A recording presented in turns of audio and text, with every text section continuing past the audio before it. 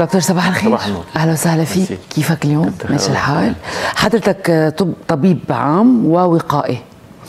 واليوم رح تحكي عن موضوع كمان كتير مهم وله علاقة بالمقدمة اللي أنا عملتها النسيان. فكمان بجملة سريعة رح احاول أختصر. عادة بنفكر إنه النسيان نعمه يعني إذا بدك شاعريا بيقولوا نعمة النسيان. وهيدي من من نعم الله علينا يعني إنه نحن لو ما بنقدر ننسى ما بنقدر نكفي حياتنا.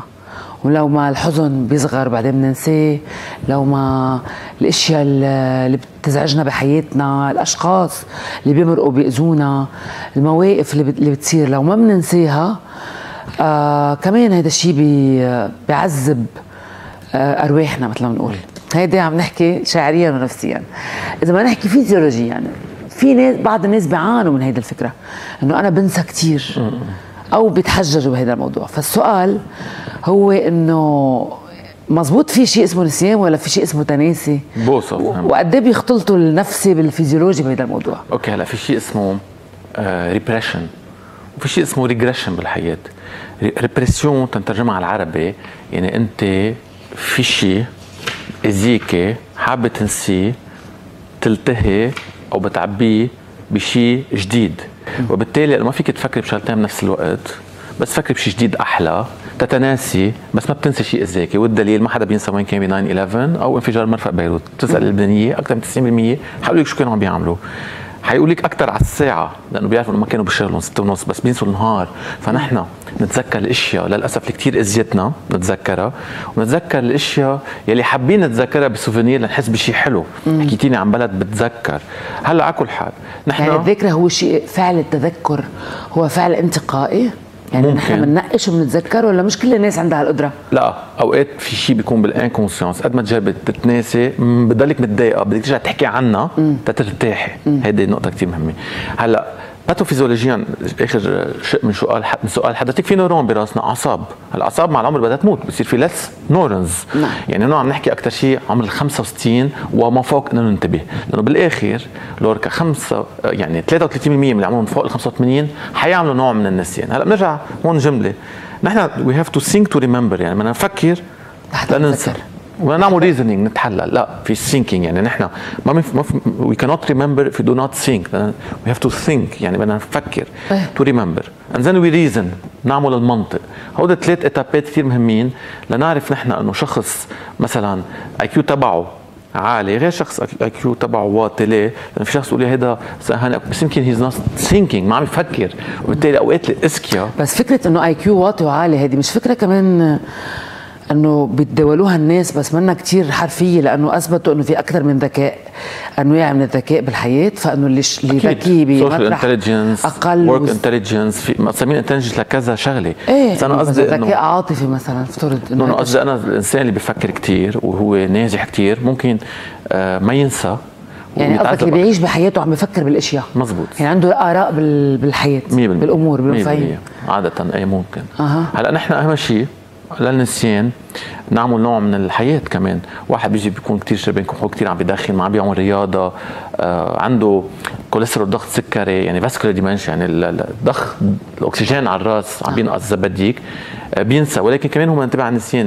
ال short term يعني واحد آه، آه نسي من يومين شو أكل منا مصيبة. بس واحد نسي المقلاية على النار كل يوم مشكلة. يعني بدنا نشوف كمان النسيان شو هي. مع شيء اسمه judgement يعني هو كمان ال mood تبعه المزاج وال personality الشخصية. تأثروا هو alcoholic وعنده رشفات و... وعمل isolation يعني صار عايش وحده. فكثير منيح ننتبه مع النسيان كبير بالعمر شو فيها شو يعني مين الشخص اللي عم ينسى؟ قصدك؟ آه وشو عم بيصير معه؟ يعني مش أي شخص عم ينسى هو مثل بيشبه شخص تاني عم ينسى. يعني في النسيان النورمال. كيف طريقة حياته؟ كيف شو عمره؟ عمره إذا أكيد. عنده أمراض طريقة حياته. أكيد. طب فيك تخبرنا هيك يعني كمان باختصار إنه أي متى النسيان بيكون نوع من أنواع المرض؟ يعني كل الناس بتنسى مثل ما اتفقنا وهيدي نعمة بنقول. أي متى بيصير نقمة؟ أي متى بيصير مرض؟ لازم واحد ينتبه له. أكيد مثلا ما بقى عم بينتبه على حاله ما بقى عم ينظف حاله مزبوط ما بقى في ياكل وحده.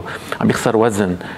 judgement تبعه بياخذ قرارات خاطئة عم بيعد مصاري confused نسيان خطير صار. يعني ما عم بينسى حتى آه، شو عم بيعمل بشكل ضايع. واحد كبير بالعمر عم بيضلوا يلقط التهابات aspiration pneumonia هون بحالة الالزهايمر المتقدمة عم نحكي. آه شخص آه عصبي صاير عم بينسى بس irritable آه الأخطر منهم شيء اسمه Lewy body dementia يعني عم بينسى بس في معه delirium يعني عم بيضيع confused hallucination عم بيشوف أشياء منها موجودة. هذيان إيه هلا أعمال اصغر عم نحكي الحالات يعني الكبيرة والمتقدمه fronto-temporal لأنه لأنه النسيان مش عطول نربطه لوركا بأنه نقص الفيتامين B douze. مش عطول نربطه إنه والله لأنه ما نام منيح واليوم مش مركز. مش دائما شيء بسيط إيه على طول بدنا نشوف إنه ما في cause organic يعني نسي لأنه في شيء organic لأنه اليوم إذا إجاك واحد عنده كسل غده بينسى مم. يعني اليوم أنا أفكر بالنسيان ك organic كغده كفيتامينات آه مش يعني بعدين بنقول إنه هذا النسيان والله لأنه هو معود حاله لأنه بعدين بيجيك النسيان اللي بده يمرن حاله. مم. يعني أنا بدي أقرأ. مرن حاله على التذكر ولا على النسيان؟ آه لا إنه عم بيعمل exercise عم بيقرا على النسيان كمان. ما هو المشكلة على فكرة اللي كثير بيتذكروا في أشخاص بيمروا بحياتنا بيقولوا لك تتذكر لما كان عمرنا. أنت بتكون مشيت ما, ما في فكرة براسك. لا والكبير بعمل بيرجع للماضي على فوق هون بتكون regression مش repression repression في شيء عم بتضايقك عم تلاقي حالك تنسي. regression عم ترجع على الماضي هيدي مهمة النقطة. بترجع على الماضي مثل مريض الالزهايمر بينسى شو عمل أو أوقات المشكلة بينسى شو عم بيعمل هلأ. هي أخطر شيء. هون ال confusion ومشكله كبيرة ما في ياخذ قرارات. poor judgement نعم. هودي الكلمات الطبية. أو عنده orientation نحن اليوم أي نهار وكيف وليش. أنا كل هدفي أقول إنه في النسيان الطبيعي الصغير يلي هو شو أكلت امبارح حط effort ليتذكر. ما شيء مهم. إيه. بس إذا كل يوم نسي بصير مهم. أكيد لأنه ممكن تت... أها هون بنحكي عن ال progression هو نسي نهار واحد لأنه تعبان أو هو عم بتزيد هيدي ال progression عم بتزيد مع الأيام لدرجة إنه تغدى وبعد ساعتين سألتي شو تغدى نسي؟ في فرق كبير. okay هيدي النقطة الاساسيه فاذا تكررت النسيان تكرر لعمر معين يعني إذا كبير غير كمان عم نحكي عن شاب. أكيد. شاب هلأ آه شوفي اوقات عم يعمل sport اكل ضربة okay بيعمل concussion بينسى يوم يومين it's fine بس نحن بنعمل investigation يعني كلهم بيعرفوا إنه بيجوا في فحص كنا حاطينه بالصور minimal mental status examination اليوم أنت بتسأليه للكبير بالعمر بده يرسم حتى copying بده يشوف بدك تشوف أنت وعيه بدك تشوف ال reasoning تبعه. ممكن تعملي له 100 آه، ناقص 7 إذا قلت له 100 ناقص 7 هو قاعد قدامك ما بقى عنده reasoning قال لك آه، طلع هيك فيك ما جاوبك أو جاوبك جاوبك ببطء عنده الرشفه معه أو ما عنده.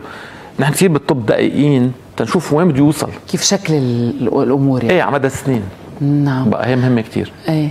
طب آه، اللي عم يسمعنا ممكن يكون عم بفكر إنه هو كمان بينسى.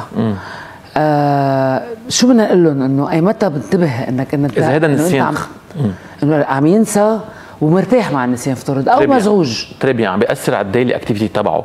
يعني مثلا نسي ركوي على النار نسي السياره دايره نزل. آه لهالدرجه في هيك شيء؟ نسي نسي يقبض. يتناسى يقول bonjour bonsoir لما دام موضوع ثاني بس إنه هو ينسى بمعنى. نسي وين صفت سيارته في ناس إيه ما بيعرفوا. هلا في ينسى وين صف سيارته راح على مول كبير مثل بدبي. بتصير مرة ميعت الهم يعني صار شيء ورجع نسي وتذكر. it's okay بس عم بتزيد. تاني نهار نسي وين المول؟ كمان تاني نهار صف ونسي اي بي آه هون صار النسيان عم بيأثر على ال daily function تبعه. نعم. ممكن بالشغل تبعه يطلبوه بالإدارة يفتحوا العين على الموضوع إنه لا بلشنا عم ننسى بشكل تاثر على عملك. إيه. وبعدين حتاثر على الصحة. مم. يعني أول شيء بتأثر على العمل إنما بعدين بتصير تأثر على الصحة. في خطر ينسى شيء داير الغاز يولع البيت.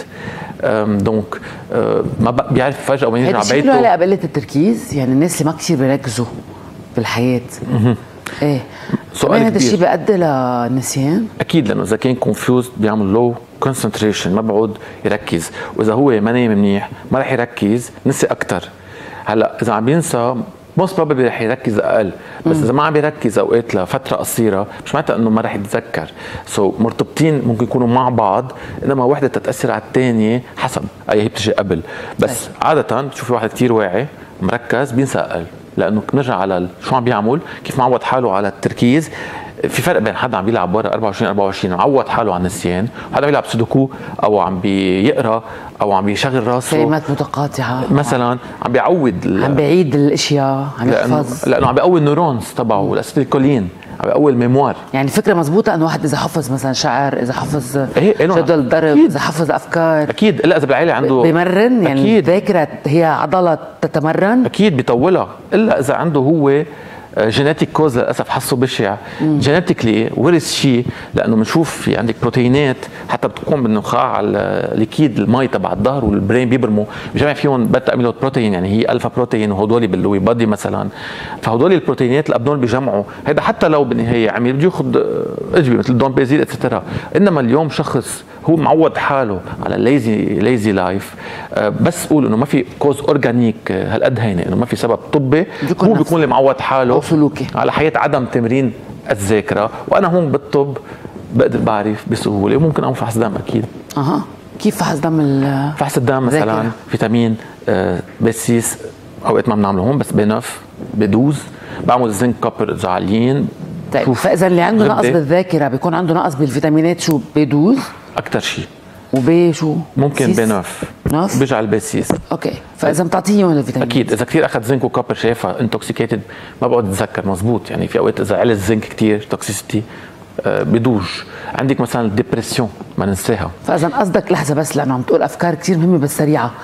قصدك إذا علي الزنك بالدم بينسى الإنسان؟ إيه بصير عنده فمعناتها يعني اللي عم يسمعنا إيه؟ لازم يعرف إنه ما لازم ياخذ فيتامينات بدون وصف بدون فحص طبي.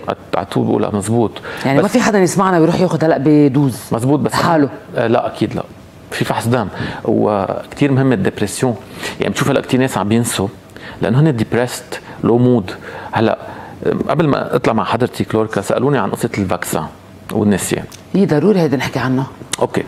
اللي لقط تبعت كورونا قصدك. أكيد. اللي لقطوا كوفيد أو اللي ما لقطوه عشتوا جو من القلق وال low mood وصار في isolation بالبيوت. هيدي بحد ذاتها أثرت على ال memory. d'accord لأنه صرنا نحن anxious قلقين جدا.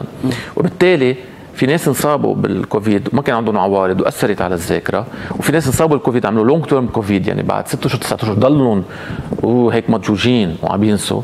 وفي ناس عملوا ال vaccin صاروا ينسوا أكثر نعترف بس reversible لأنه مثل الاشياء ال vascular ضخ الدم على ال artères من ال artères على الرأس. بقى هودي بيرجعوا مرنوا حالهم بقول رح يطلعوا منها ما فيني انكر إنه ما أثرت على ال short term memory يعني أكل امبارح مجدرة أخذت خمسة يوم ليتذكر أو ما تذكر okay مم. بس ولكن بس أنا السؤال المحدد دكتور إذا عملوا يعني بحث أكيد من بعد كورونا عرفوا شو القصة شو صار مم. إذا أصلا حدا بيعلن الإشياء بشكل صريح مم. لأنه آخر شيء أنا بفكر إنه كورونا هو مؤامرة آه هو بس هلا هذا موضوع ثاني السؤال اللي بدي أسأله اياه أسألك إياه إنه آه هو بحد ذاته يعني الكورونا هو اللي نساه ولا ال vaccin؟ okay both of them بس الكورونا أكثر من ال vaccin هذا هون بدي اوصل للجواب يعني يعني في ناس اخذوا اللقاح كبار بالعمر ما انصابوا بالكوفيد ببعض الدراسات طلع إنه هدول صار معهم نسيان أقل لأنه طعموا وما انصابوا. ما ننسى إنه الكورونا اللي بينصاب فيه كان عمره فوق ال 65 70 عنده overweight عم بيعمل dialyse كذا كان 7% ال mortality. هدول لا نزلت ال mortality بال vaccin ل 5% نحن بفهم الهجوم على ال vaccin بس بأعمار وبحالات cancer وبحالات هذا ال vaccin خليهم اليوم يكونوا موجودين ويظهروا. عم بحكي الأعمار الكبيرة واللي عندهم كثير مشاكل صحية. يعني هذا الشيء ما ما أثبت طبيا. اثبت هلأ لو أنت أخذت vaccin فهذه أنا مثلا ما أخذتها.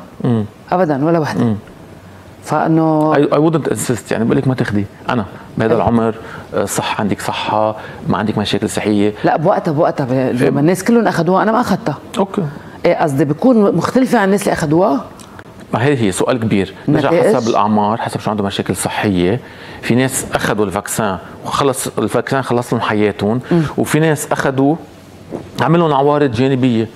فإذا كل حدا كان ردة فعل ما في شيء هالقد ثابت 100% بس بالموضوع. كمان الهجوم على ال vaccin بالشكل عم نشوفه بنحط كل شيء عليه هو جزء بس في إشياء ثانية بحياتكم عم بتأثر. يعني نحن صرنا شو ما يصير يلا vaccin. بس عم ننسى حالتنا المادية بلبنان. عم ننسى ال stress اللي عم نعيشه. عم ننسى الحروب اللي عم نتعرض لها. هيدا بلبنان بس على العالم الكوكب. ما كله انصاب بهيدا بهيدا المرض. أنا برأيي بهداك الوقت. الاحصاء العالمي نعم. شو شو طلع إنه هذا الشيء؟ إنه فاد كثير للأعمار خاصة الكبيرة. فاد؟ أكيد ال vaccin. للأعمار الكبيرة. اللي عندها مشاكل صحية. آه. لأنه في أرقام. خليهم ينسوا. آه خليهم ينسوا. transient بنسميها memory loss يعني إشياء صغيرة مش مهمة reversible لفترة قصيرة بس ما خليهم ينسوا آه، شو عملوا. طويلة الأمد. أكيد أكيد لا. لهالسبب أنا عم بقوله إنه كثير حملناه ونحن يجب أن نعترف بأنه في عوارض لكل شيء بنعمله بالحياة أكيد. جانبية. ما فينا نقول لا ولا هلأ اليوم بتسأليني واحد عمره تحت 50 هل بده ياخذ vaccine بقول لك لا. بس واحد عنده cancer اجى بقول له إيه خذ ال vaccine واحد عنده مشاكل انسداد رئوي مزمن. قال لي بياخذ ال vaccine بقول له إيه؟ مم. واحد عمره 70 ضغط سكري كوليسترول الصور بالقلب dialyse إيه؟ بقول له إيه خده. كل المختصين اللي عم يحضروني بيقولوا يعني بيدعموا هالفكرة. بدنا ننتبه؟ وقتها بننسى إنه كنا كثير مضغوطين وما عندنا حلول نعم. مزروبين. اما بخصوص انه هي مؤامرة. خليني جاب ظبط هالجمله هي إنه وجد الفيروس إنما ممكن تكون في بعض الناس أو سياسيين تعاملوا معه بشكل ممكن يكون زيادة عن زوم ضمن مؤامرة معينة. نعم. شكرا كثير دكتور على كل هالمعلومات المفيدة ونلتقي بحلقات أخرى.